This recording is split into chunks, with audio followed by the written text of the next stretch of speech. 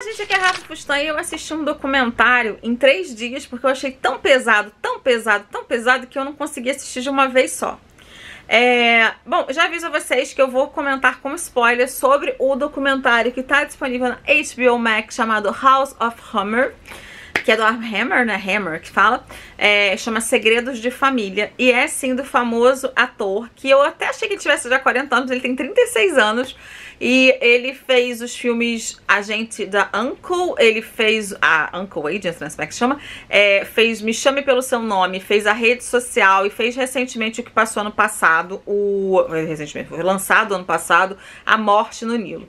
Ele era um cara que tava com a carreira em ascensão, considerado belíssimo. Eu lembro, gente, eu não lembro o ano, tá? Se foi 2018, 17, enfim, uns anos atrás ele veio para divulgar esse, esse filme dele com Henry Cavill, aqui no Rio de Janeiro.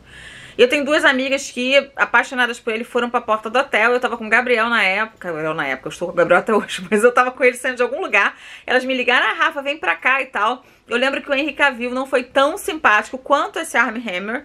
Elas ficaram encantadas. Eu não tirei foto com nenhum dos dois, tá, gente? Eu só eu vou contar como é que eu vi os dois. Eu vi ambos.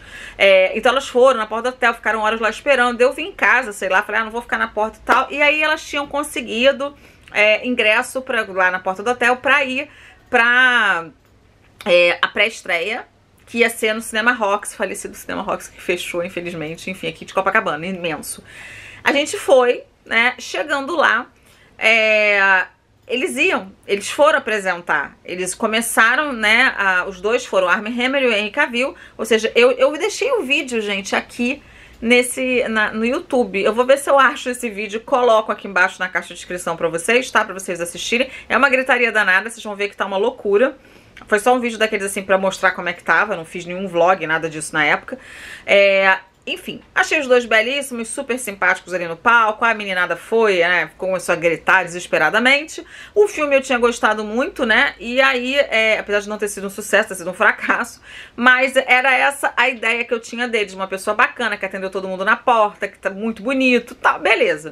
Quando começou a vir as, as denúncias em 2021 eu fiquei chocada, porque eu pensei, gente, né, o cara é casado. A primeira coisa que eu pensei, ela, ele é casado com uma apresentadora de TV chamada Elizabeth Chambers, uma moça lindíssima, uh, que estava com ele já há 13 anos, separou dele em 2021 e que tem duas criancinhas lindinhas de comercial de margarina com o ator. No documentário, a gente vai ver é, coisas que eu não sabia, por exemplo, que a família dele é mega, ultra bilionária. Era aquelas famílias que apareciam em capa de Forbes, né? Enfim, o bisavô dele, o avô, sei lá, comprou uma, bisavô, comprou uma, uma empresa de óleo e gás, fez disso um verdadeiro império.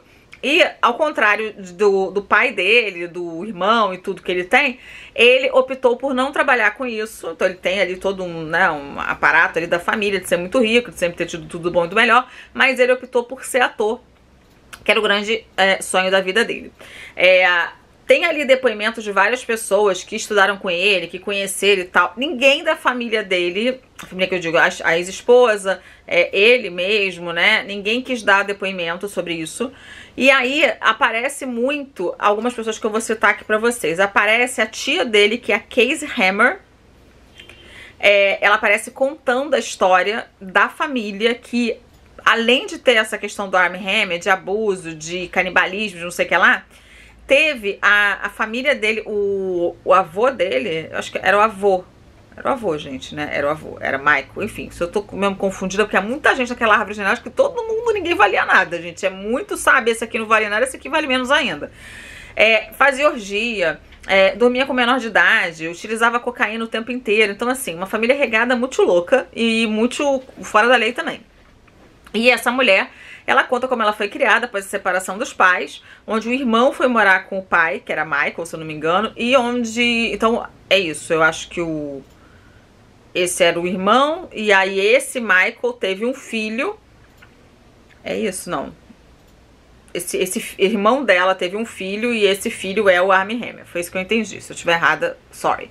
Bom, e aí vai mostrar tudo isso. Só que o que mais choca a gente, principalmente mulher, é porque a gente sabe que tem umas coisas que, assim, a, fala assim, mas por que, que não denunciou? Porque você vê os comentários dos negócios, não adianta o homem estar tá ali com tudo carimbado na testa que ele é culpado, gente. Carimbado na testa que ele respeitava a esposa dele, mas dormia com tudo que é mulher e diminuía as mulheres, é, não combinava. Toda é, BDSM, né, que fala o, o enfim, a método ali de, de dominação, a gente já leu muito isso em livros hot, ele tem uma palavra de segurança. Que é tipo assim, sei lá, laranja. Se eu falar isso ali, meu marido tem que parar na hora. É porque eu não tô sentindo prazer ou tá ali no meu limite da prática que ele está fazendo comigo. É, essas mulheres não sabiam nada disso, eram totalmente leigas nessa questão e foram atraídas por um cara bonito, famoso, rico, né? E que mentiu para elas que não era mais casado. Apesar dessa questão do casado, aí eu vou jogar uma coisa dizendo, gente, não é possível. Quando eles se separam, toda a mídia sabe. Elas já alegam que, ah, ele falou que era separado eu acreditei. Só faltou dizer que a mulher estava doente, ia se separar da mulher, né? Aquela velha história de estar com câncer vou só quando ela morrer que eu vou poder me separar, não posso largar ela lá. O tipo, o típico cara canalha. Mas enfim.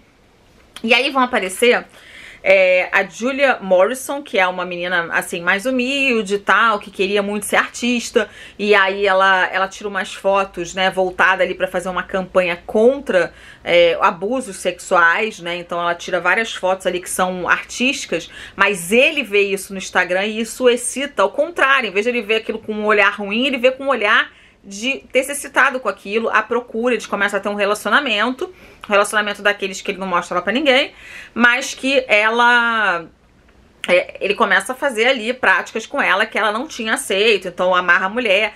Tinha um tal de shibari, acho que é isso, gente, shibari, né, que é uma técnica japonesa de amarrar mulheres, colocá-las suspensas às vezes, e elas não conseguirem se libertar daquilo, então ele tinha muito ali prazer de ver aquilo, de mordê-las. É, tem uma que ele tranca várias, tranca e fica transando com ela diversos, diversos dias, a machucando sem ouvir que ela não quer mais.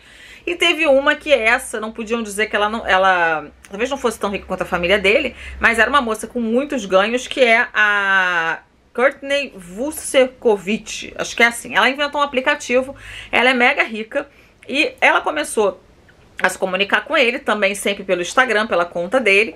E aí é, eles começam a ter um relacionamento, né? Ele fala que não tá mais casado, que tá separado, que tá morando em casa separada e tal, só que na verdade ele ainda tava casado.